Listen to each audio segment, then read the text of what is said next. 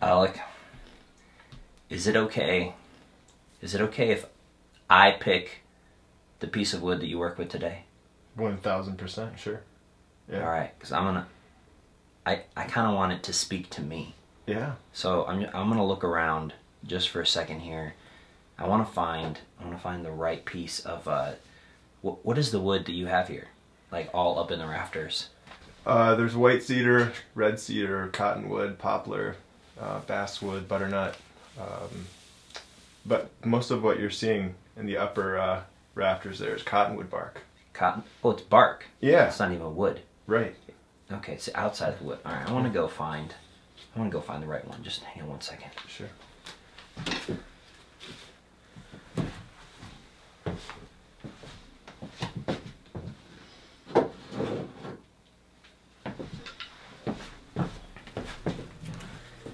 This is the one that I picked, Alec.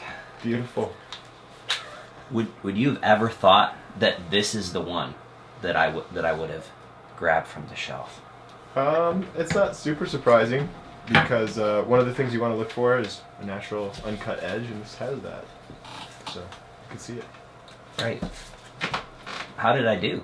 Good. You did well. You did. This is a cool piece. It's a triangle, which is a very strong shape. Yeah, and you. I mean, you're an award-winning uh, wood carver, wood artist. Just go, just go ahead and clean it off a little bit. You know, what, what are you looking at right now? Like, what's what's going through your head? Um, right now, I'm thinking, uh, gosh, this thing is so dusty. Uh,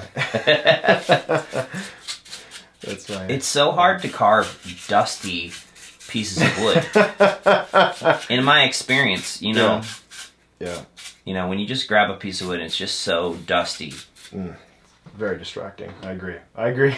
Yeah.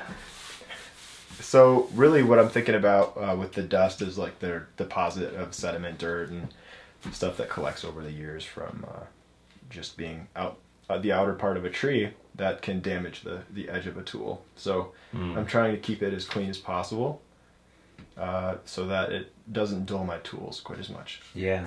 When um, when you this is cottonwood, This is cotton uh, bark. Cottonwood bark. Yeah, this comes from. Uh, this probably came from Wyoming or Montana from a tr- hiking trip out there, a camping trip. So you you went and got this this piece of wood yourself. Right. Yeah. What does that look like? Do you just you just drive to Wyoming, and you look for a cotton wood tree Yeah. I mean to find some cotton bark? Which yeah. I'm surprised because that's that's really thick for bark. It is, yeah. So it all started um, uh, with a camping trip I went on with my buddies, with uh, Yeah. three other guys, and uh, we were out there and uh, happened to see some giant cottonwood trees. We stayed in an old cabin with no electricity, candlelight, and uh, and gave ourselves stick and poke tattoos. Actually, nineteen year old doofus kids giving each other stick and pokes. And uh, I found these cottonwood trees near our campsite, and I had been carving, a career carving at that point, 19 Yeah. years old, touring the art show circuit, um, selling carvings. And I knew this was a great wood to carve. And when I saw these trees, I was uh, really excited. And so I collected a bunch of it, probably, you know, private property, whatever, probably not illegal. but uh, I just, And you brought it back. just put it in boxes and shipped it back home. So we're gonna you're gonna carve here. Is you can get started if you want, but Sure. i- is it is it cool for me to talk to you while you're while you're carving? Yeah, totally. Absolutely. I don't know, like when you're oh man.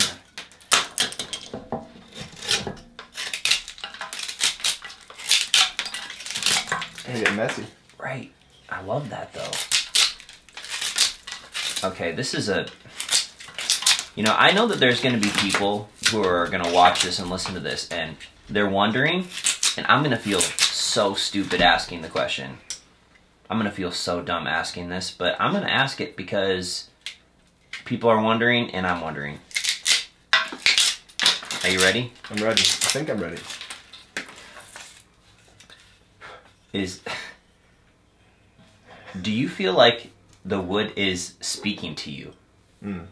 Like like when you're you're hold you're holding the wood. I know you got the dust off and stuff, but like when you when I handed it to you, did you like did you already know what it could be? Mhm. You know, as you're kind of like getting the outside Right. off, like do you do you already know what what wants to come out of this piece of wood? Interesting. Um, Or do you not even think about that? It's okay if you don't even think about it either. I just want to know, like, because when I hold a piece of wood, I'm like, it's like a piece of wood. But that's, but this is how you make your living, you know? right. Um, so, with that thing of uh, you saying, you know, it's uh, does it speak to you? Yeah, Uh, it doesn't really like, uh, you know, most of the time, thankfully, it doesn't audibly speak to me. Um, otherwise, I might be, uh, right. This would be a different type of podcast. yeah, probably be talking to a counselor or a psych. But um, uh, somebody did once ask me what uh, my carvings tell me and what what maybe they if they speak to me, and I Yeah. said that uh, if they did speak to me, they'd be saying ah stop because most of them are human figures. yeah, And so they'd be very unhappy if I was carving on them, uh, probably, right? So, no, but uh, all kidding aside, the, there is an element of um, the wood telling you what it wants.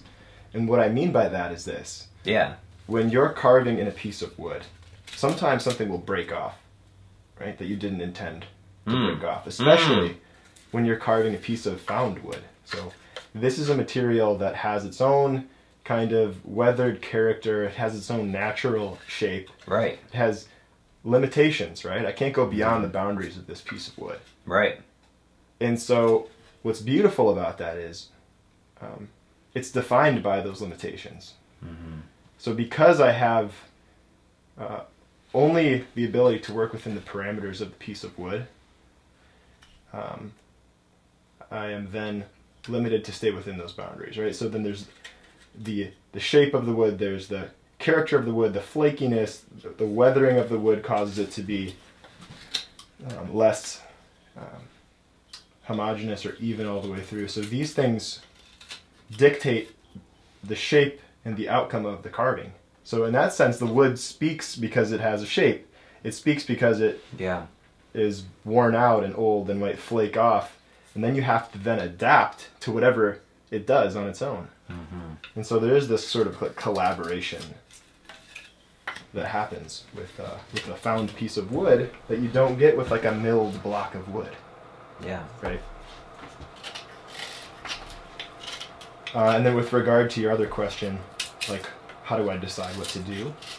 yeah, Um, for me, um, my main interest is people. Right. So I'm always thinking about uh, people and looking at people. right. I'm at the grocery store and I see an interesting face and I'm trying to take a mental note. You know, what a great nose that guy has or that lady has. And so you're trying to be discreet, you know, and creep everyone out. But uh, yeah, But so they could become a wood carving. you never know. You, never, know. if you see Alec at the store Yeah. checking out your nose. It's true. It's happened. it's happened before. Yeah. So when when you when you're holding this piece of wood though, do you you feel like you feel like something wants to come out of it and you're just kind of delivering it or what? Um, that kind of spiritual thing, you know, of course, Michelangelo or Michelangelo would talk about that. You know how uh, he sees it within the wood. and It's maybe it's already there and he wants it to come out. Right. That's that's kind of what I'm getting at. Like, Yeah. is that a thing for you, or are you just kind of like, you know what? I'm just gonna I'm just gonna take my knife here and, and see what happens. Yeah. Um, you know, I think there must be some element of that because there are times where you make something Yeah. that you're not capable of making, right? And so I almost, I often feel like, you know, I should say I'm not happy with every carving. You know, maybe like one out of every ten carvings actually really cool. You know, but on those days when I make something that I really love, you know, I don't want to sell, I want to keep. hmm Uh, it doesn't feel like I actually have the skills to make. When it's done, I feel as disattached from it as other people Yeah. And that's a blessing because it means that I get to appreciate it. right? Because I don't feel like, oh yeah, I remember those cuts and those steps that I. Yeah. It's not like a math equation where I could show you the pattern, right? It's making. That's why it makes teaching so difficult. And why teaching is so interesting to me is that I'm still deconstructing this for myself. Maybe that makes me a bad teacher, but I'm, I'm trying to figure it out in real time. So Yeah. When you're carving, uh, is it kind of like a flow state for you? Like, what do you think about? Do you think about life? Do you think about relationships? Do you just think about the, the piece that you're making?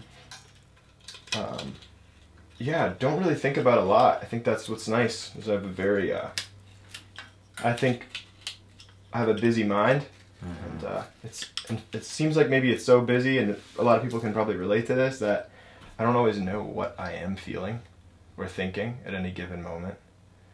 And so, what's nice about carving is it slows me down, and uh, I don't have to worry about that stuff. I'm not thinking about any of it really, you know. So does keep keep things simple for me. When you carve by yourself, do you listen to music, or do you just? I'm trying to imagine what life is like for you here in the studio. Yeah. Do you listen to music? Does Does Alec just sit here quietly? Yeah, I used to listen to uh, I used to listen to music a lot more while I was carving.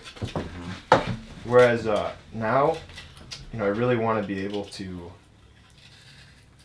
because you know, there's like the left and right brain that you're using, you know, all the time, right? you're using like your rational brain, you're using your creative brain, and uh, you know, when you've got an idea down pat, uh, you don't really have to use your rational brain. So, for instance, I can just carve something that I've, I've done something very similar to and talk to you, right? I'm not going to make any huge revolutionary uh, Mhm. things while we're talking because I'm using my left brain talking to you right now. Yeah. What's nice about turning the music off is it allows me to uh, toggle back and forth a little bit better between like the left brain that says, "Does this, does this, does this suck? Okay. this, is this good? Or do I really like this?" And so when I'm listening to music, it's all the vibes are good. I'm just I'm moving, you know, I'm grooving, I'm carving, I'm just Yeah. the chips are flying. I'm making something a lot like maybe something I've made before because my brain is in the music. I love music so Right. like too much.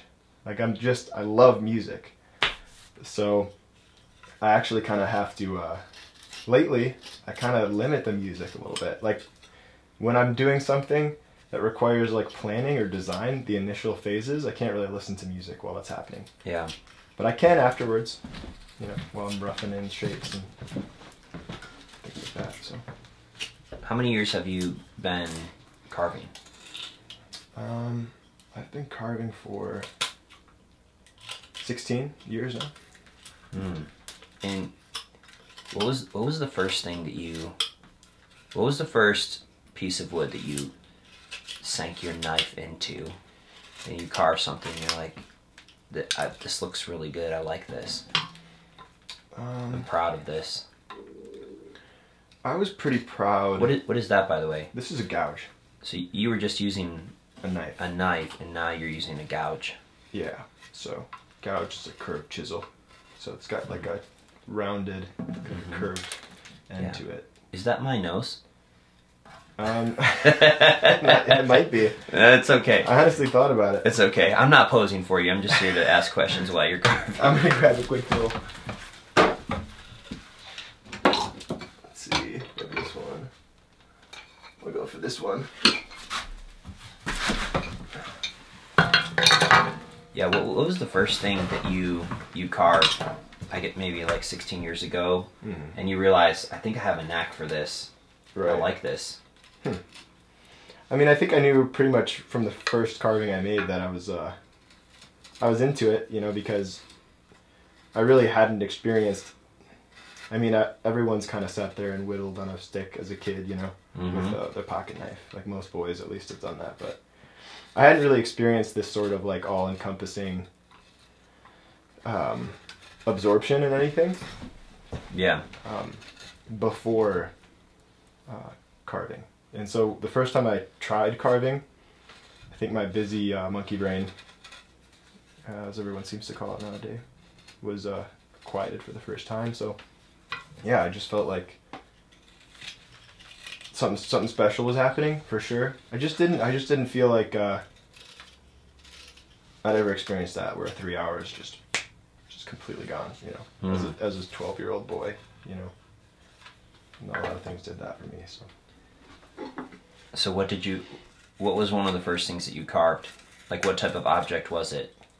Uh, it was a whittled uh, boot. It was like a leather, Ooh. like a cowboy boot. Do you still keep it Um, I'm pretty sure my mom has Your it. Your mom has it somewhere? Yeah, she would from have her it. proud, She's her proud. proud son? She's probably proud of it. Yeah, I'm sure. Yeah.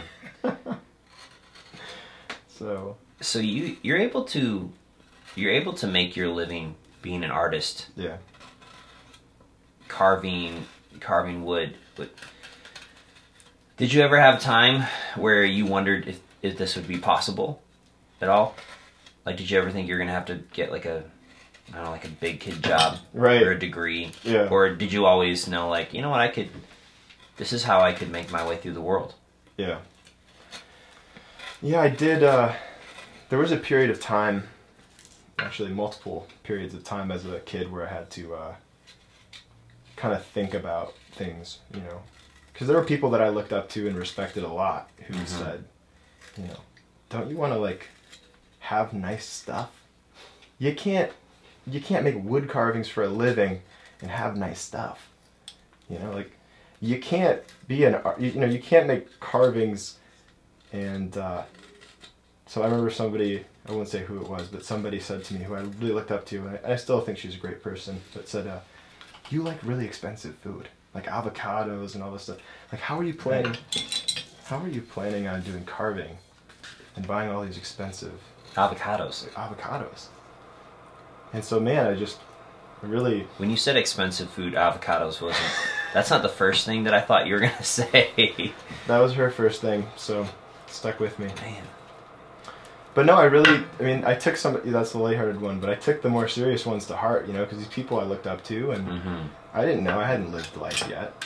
I thought maybe I, maybe I am crazy. I don't know, maybe this is not, maybe I, my ignorance is, is showing. My homeschooled, uh, I don't know, it, you know, just lack of life was uh, showing. So I figured out that uh, if I went to college, it was pretty cheap, and um, it would be kind of a backup plan. So I started going to school, and then uh, I went for a while, and then I met a geology professor who, uh, at the beginning of class, said that uh, you know basically every one of you here is hugely benefited from from having a a degree, and so your odds of having a, a high-paying job without a degree are very low. In fact, here are the stats. And then I remember emailing him afterwards some pictures of my art and telling him what I was considering do you know what I did kind of then because I was already starting to teach and do a little bit of uh, you know one-on-one stuff and group classes and, and just starting to sell my art. And uh, he said you know I really think you should consider doing this. I think you have something special. Oh man, so this is the person who said the odds of people being able to be successful Right. in art are low, right. But you sent him your stuff and he was like, "Go for it." yeah he kind of gave me the green light. And uh, actually one of the most meaningful uh, interactions I had was with my dentist. I was sitting in his chair and he said you know Alec I hear you're in school. If my kids had your abilities you know at your age I don't know that I'd send them to school Really? I would encourage them to do what they love because you know what not a lot of people have a skill that they've fostered Mm-hmm. And you know, not everyone needs to have a degree. And I listened to him. This is your dentist. This is my dentist. This Was is he work, way- was he working on your teeth at the time? Where you're just kind of like, uh huh, uh huh. this was a really cool dude. Uh, he um, he had been given, you know, like he upgraded lawnmowers, gave our parents a brand new riding lawnmower. He was just like a super nice. He had equity with our family, you know, like relational equity. Like a nice, he was a nice dude. So uh, when he said that, it kind of weighed a little heavier than just a random guy, you know. So of course, every every young man wants to hear he doesn't have to go to college, right? So. Mm-hmm. So yeah, I, I dropped out and then I went for a couple of years just pursuing carving, and then I got the same avocado lecture, and then went back to college, and uh, I finally decided, you know what? I don't need, I don't need to go. I don't need this to do what I already am going to end up doing when I leave here, right? Right. But yeah, I mean, I, I'm glad that I went for sure. It's not, it's there's no regrets there. It was an awesome experience. I learned how to write, and that stuff is helping me out now uh, as I've got a, you know, writing a book with a publisher, and that those skills are, you know, they don't, they're not uh, lost on me now, so that's good. But yeah, I didn't uh, ultimately didn't need it.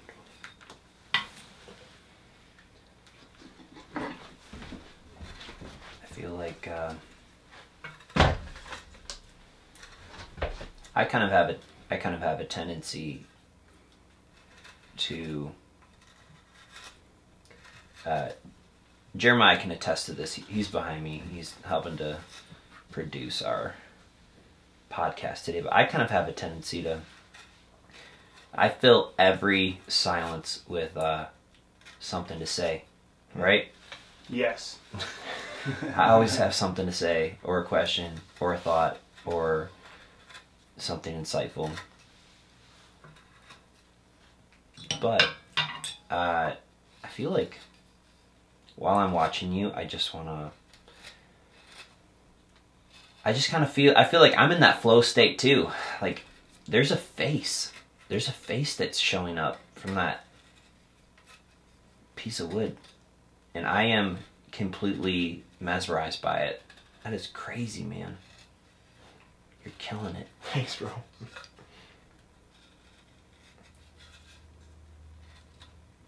It's not every day that people show up with, uh, you know, seven or eight cameras to film film you doing this. So it's kind of it's a little bit. It's fun for me too. So. I have a list. I have a list of people that I've wanted to sit down and and uh, have conversations with passionate people, and you're one of the people at the top of my list I appreciate for that. sure, man. I, I was like, I was like, I gotta somehow get a microphone and a camera over to Alec Nah, because people have to see what this what this person is capable of. I appreciate that. Yeah. I was honored, man. I'm really honored that you had me on. Honestly, I was. Uh, first of all, I was really stoked to hear that you're doing this because uh, it's such a it's such a great it's such a great thing for you. If it fits you well. I appreciate it. it. You know, like having a podcast or telling stories. Definitely, uh, it's such a saturated market. You know what I mean? Yeah. I don't. I don't want to just be out here.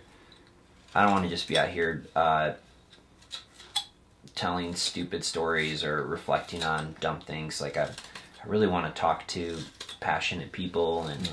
and catch them in their element. So, do you have a favorite spot that you like to carve? Like, do you is it here in your studio? Is that your favorite spot? Do you like to? Do you like? Do you ever just like go outside by yourself, or Right. Hmm. Not really. Um, yeah, I really like to. Uh, I, I mean, natural light is important for me. Like that's why I built the shop with the skylight in the top, and it's you know. Could you know? Shout out to my dad for uh, sticking with me, hanging out with me up there, helping me figure out how to do everything. He was instrumental in most of this, but uh, my buddy John Bertolini helped me build it as well. He did uh, kind of showed me the ropes, how to do stuff, and then then he would come over for for an hour or two or three, and then show me what to do and leave, and then uh, come back the next day and repeat. And so that was a cool, uh, such a cool skill to have, like to learn from uh, from old from older people, like with, with the knowledge in the trades. But uh, anyway, so yeah, I mean, I was able to build this studio to be kind of my ideal spot because Mhm. I spent uh, you know like nine or ten years carving in a very dark Mm. uh, barn. uh, do you do you regularly make trips out to Wyoming, Montana to go and and find the wood that you're gonna turn into art pieces? Yeah. Is it just you? Um, just you in a truck, or do you turn it into a big experience? I turn it into a trip with friends because uh, I personally I wouldn't really probably I don't know how much fun I'd have doing that uh, on my own. Mm-hmm. Um, who knows? But yeah, I always bring my friends with me, and uh, it's been a couple of years since we've been out there. But uh, How much wood or cotton bark do you get? And where do you go? yeah, Do you just like stop on the side of the highway and you're like, hey, look, there's some wood? Like, how do you how do you find how do you find the wood that you're gonna turn into something? I do. Um, I I end up. Um, first of all, we rent a U-Haul. when we first went out there, we just brought my van. I had this like uh, kind of like a Sprinter van. Ford makes a Sprinter van calls it Transit, Yeah. and uh, I had a Transit van, and uh, we would wake up and be covered in ticks and. Uh, with the wood, you know, we, sleeping with the wood was not the best. We figured out that that wasn't the best. You option. slept in the U-Haul? Well, we slept in my. Tra- I owned a Transit. This is before. Oh, right. So this okay. is pre- this is preceding oh our man. brilliant idea to just get like a separate trailer. Okay. Yeah. So you would go out, find the wood that you're gonna carve, Yeah. put it in the van, and then you'd go to sleep, Right. and the wood is in the van with you. Right. And then we just wake up and strip naked and pick all the ticks off of each other. You know, it was awful. It was one of the worst experiences. Um, juxtapose that to like beautiful snow-capped mountains, just butt naked, looking at each other's buttholes, trying to find ticks. Wait for real? Oh yeah. What the I mean, heck? Yeah, we googled it, man. That's what you, I mean. Basically, what you have to do is if you find ticks, you have to like make sure that they're not staying on you. I guess. I don't know. Either that or someone duped me good. Man, right? It's, uh, That's I didn't think you were gonna go there. Yeah, I'm sorry. It's all good. Yeah, It's part of the story. but anyway, we we, we wised up. We rented a U-Haul and uh, this last time and had a lot of fun down there. Probably collected uh, I don't know, thousand pounds or so of a Man, and you bring it all back here.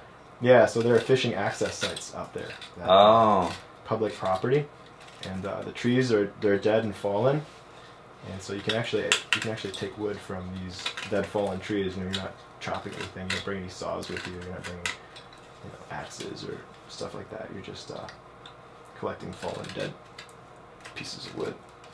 yeah. So yeah, that's it's a beautiful experience, man. Being out there amongst the the trees and seeing the mountains out in Montana and Wyoming, and just the, it's a beautiful, beautiful experience. Feel like you'd ever want to live out there?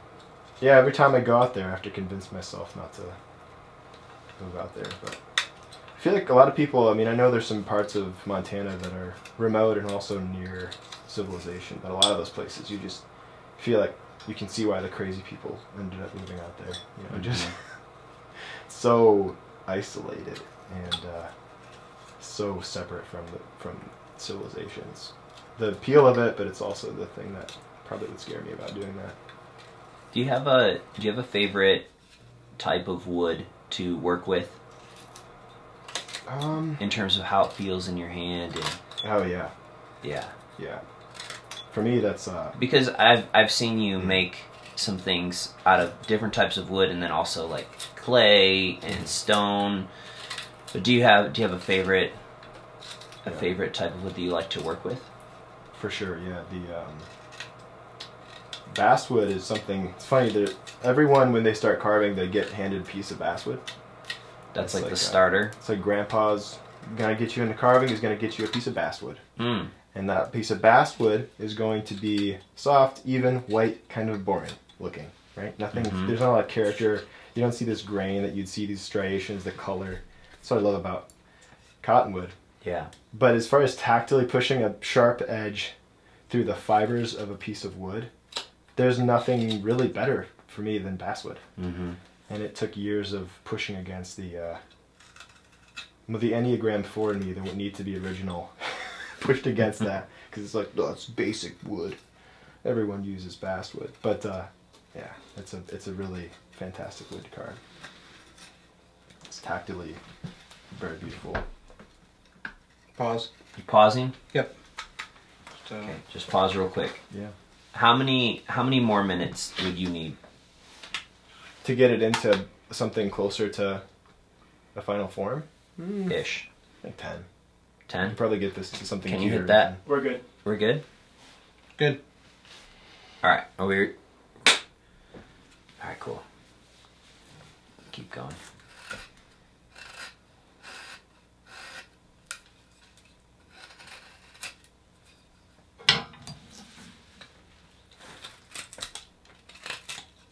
Has there been anything that you've carved where you were you were nervous to do it because it was your first time, or someone commissioned you to do it and you hadn't done it before? Yeah, um, it's funny. That's a that's a good question because uh, I you know I've been doing this for so long that um, when I started out, I wanted to all I wanted to do was faces, and so Mm. I uh, I, I ended up just getting good at them, and so people would at these art shows I'd stand out there and sell my faces, and people would ask if I could carve their tree branches or their stumps and you know all manner of things. A lot of times people would want me to carve their dogs, and I had never done that stuff before, so I would always say no, that's not really what I do, and. Uh, and you know, I just would say, yeah, I folk, I kind of, I would say almost with pride, like, no, what I focus on is faces. That's what I like to do, and I'm gonna keep getting better at that. And I get uh, that. and I, in a way, I'm glad that I did that. But I think a big part of that was just me being afraid of trying something new. And uh, it worked for me. I got I got better at faces because I stuck to it. So it was good on one hand, but on the other hand, I think I missed out on some opportunities to carve things that are really hard. And so I found personally that like everything that I'm most afraid to carve, which is uh, pretty regular. It's a regular experience to feel like I don't know what the heck I'm doing, but I'm going for it. Um, that those those experiences are usually the most rewarding ones. Um, right? It's like you actually challenged yourself. You actually felt like you overcame uh, the resistance that you feel when you start a project that you're not sure how to tackle. So that was uh, that was super huge. Okay, I have I've got another question that man, I don't know why I feel stupid asking it, but I just I just know that I just know that other people are probably wondering this Sure. as well. No dumb questions. Okay? Do you when you finish a project Yeah. and like you see you see this this piece of cotton bark mm-hmm. and you have brought a beautiful face from it. Yeah. I mean, this is this is a piece of wood that definitely could have just been a piece of firewood, Right.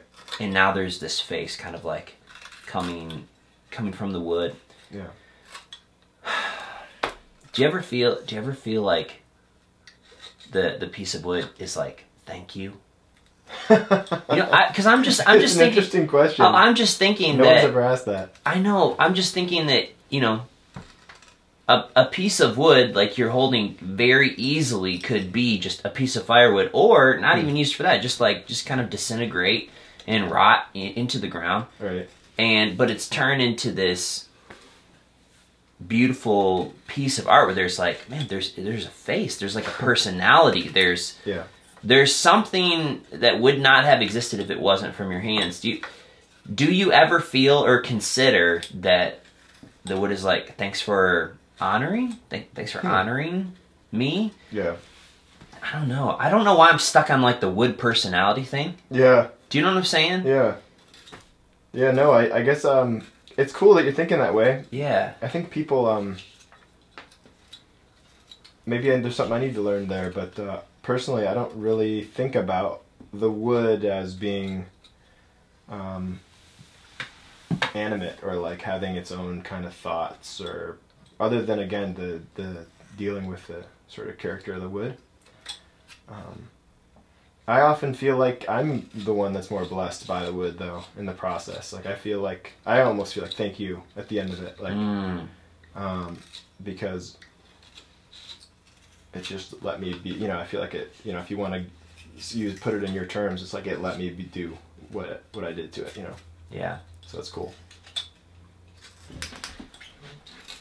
I think I'm. I think I'm just really sensitive to. Uh, all right, this will give you a little insight into like Mm. how my brain works. Yeah.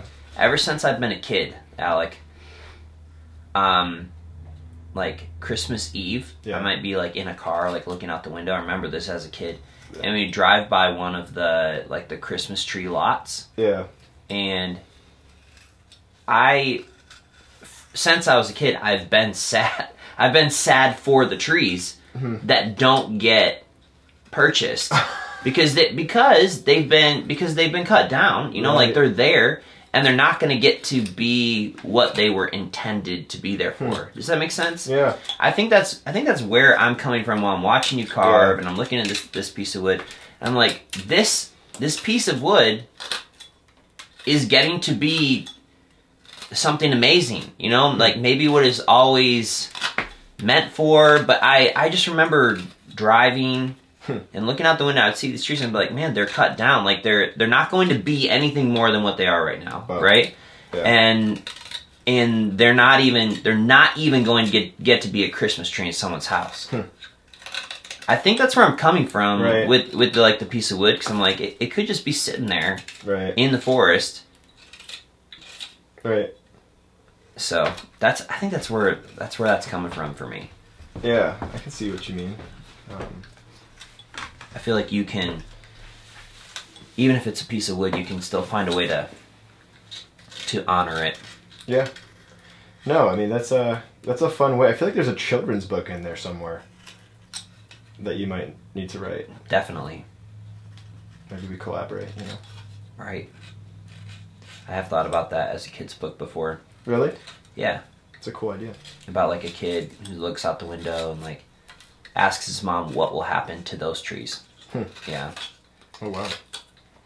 It is interesting, isn't it? Like to think that we're sitting in a structure, we're standing, covered by, surrounded by Mm-hmm. a structure that was that's like made by trees, and you guys are filming a dude carving a tree. Just like trees are so present in our everyday life. Mhm. Like all, all of our homes, most of our homes, you know, are built with trees. It's like kind of wild. Mm-hmm.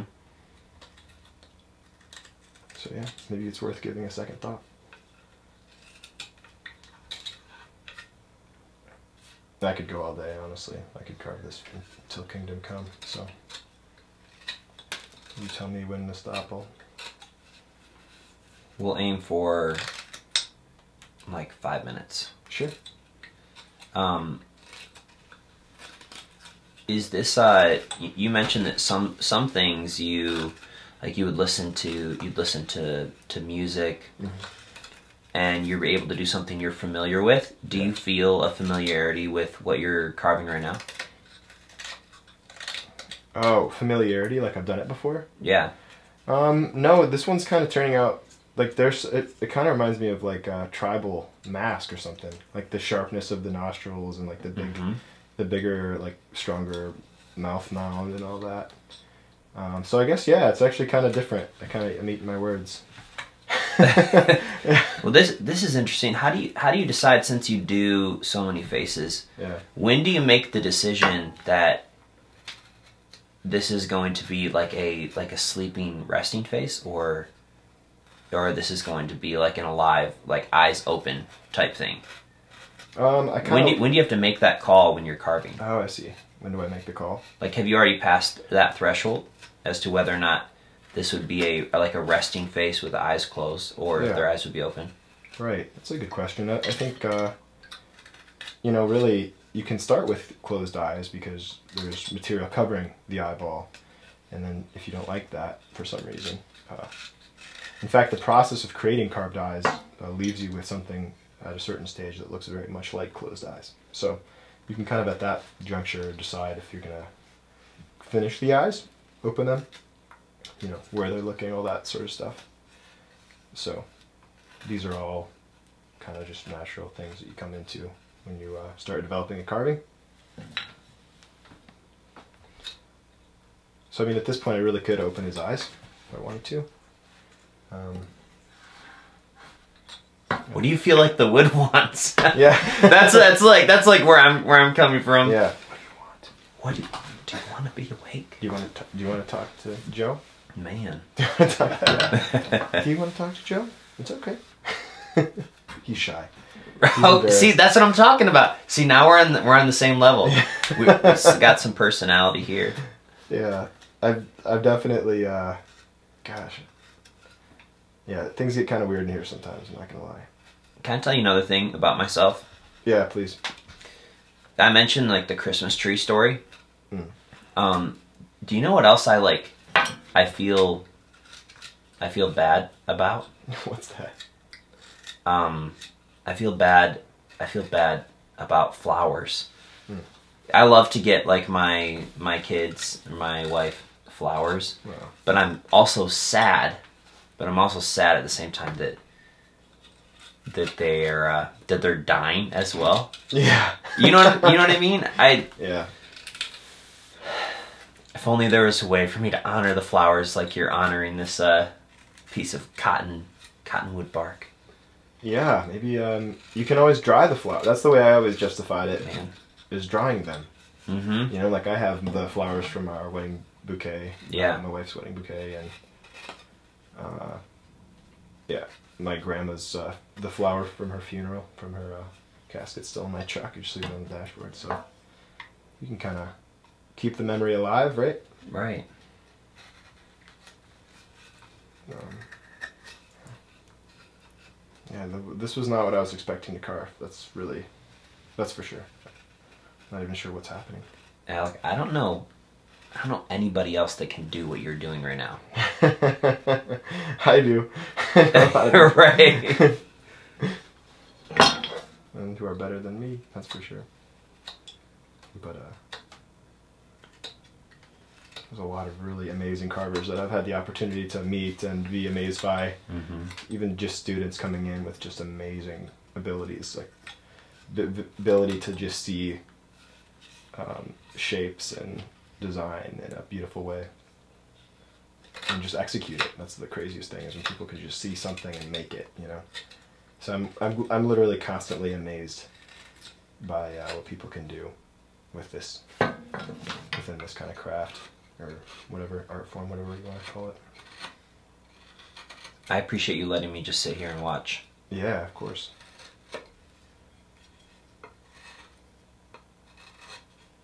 I'm glad you listened to your uh, professor and your dentist, man. it sounds I'm happy to see So people. I'm happy to see people living in their passion.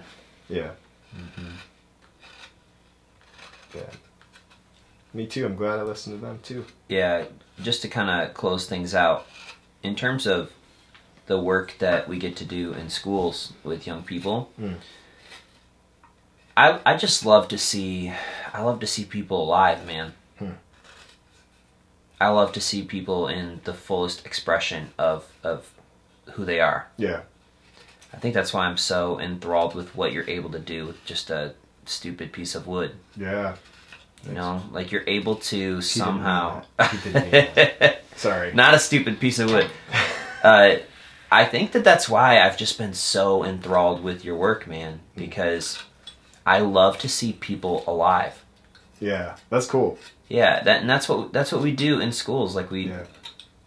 we help kids feel more alive, Hmm. and uh, and so seeing you take seeing you take a, a piece of wood and bring it into a really beautiful expression just kind of it just kind of speaks to me as a person you know Hmm. You know what i'm saying Yeah, that's cool. I mean, yeah, I mean, there's not a lot of uh, opportunities that people get to do stuff like that. They, yeah To make something that they're proud of, and mm-hmm yeah and so that's uh, that is important. Like teaching for me is, uh, it is really there's nothing there's like no better feeling than seeing someone else's success in that Mhm. area. You know, Yeah. you get to see that as a teacher. Um, I'm sure you know with like a student who doesn't believe in themselves, and sometimes, you know, I talked to a guy that was actually having a frustrating year of teaching last year. I wasn't feeling well. I Was uh, having some health problems, and so telling this guy, uh, interviewed him on my podcast. His name is Rick Harney. Well, just complaining to him on the podcast, and it's like, yeah, do you ever find that you know you just can't get the people to do, you know, to trust themselves? And he's like, people don't trust themselves. That's the problem. You have to trust. You have to be their, you know, their rally for them. You know, I don't remember the exact words, but just basically saying that. Like, I'm like, man, this is a great teacher. Like believing in your students more than they believe in themselves is uh, that's something that I think we we can all improve on in our relationships. But that's a beautiful, I feel like, yeah, thing to be able to do for someone. That's what all my best teachers. I mean, they they literally directed my life. You know, through doing that, through believing in me. Yeah And you're good at that, Joe. You're you're great at that. Appreciate that doing man. that for for those kids and even for me through the years. You know, I remember we would uh, play music together, Mm-hmm. and then uh, years ago, church, right? Right. And you would say things like, "Man, can't you guys just picture Alec on stage one day?" right, man. You're just encouraging me, dude. Well, that's why. See, I can't do I can't do what you're doing, but I I feel the skill that you have with your hands. I feel that with my words.